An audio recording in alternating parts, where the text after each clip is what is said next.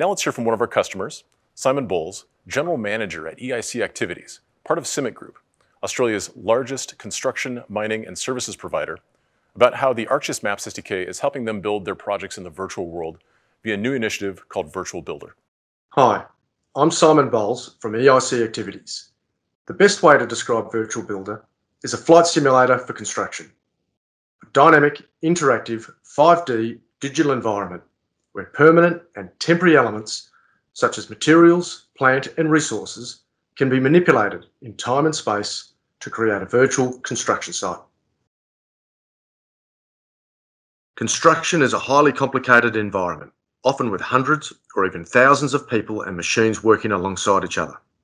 Unity's gaming engine and our event-sourced architecture provides the ideal collaboration and integration platform to make sense of this complex environment by using physics and colliders to perform spatial temporal clash detection in real time, we can see what's happening as well as what's going to happen as work progresses and plans evolve.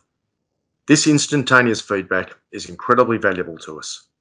ArcGIS Maps SDK provides the ideal stage for this virtual construction to take place. Powered by the ArcGIS system, it represents the starting point, the initial geospatial environment that gets transformed into the finished product. As this example shows, the key to Virtual Builder is that the rules work the same as in the real world.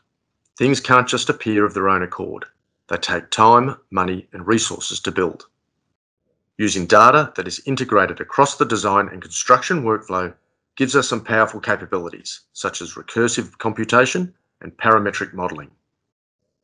Virtual Builder's ability to look forward in time enables our delivery teams to provide accurate and timely constructability input into the design process. Having good visibility of the future impacts of decisions we need to make now means better solutions for us as contractors, which ultimately means better outcomes for our clients.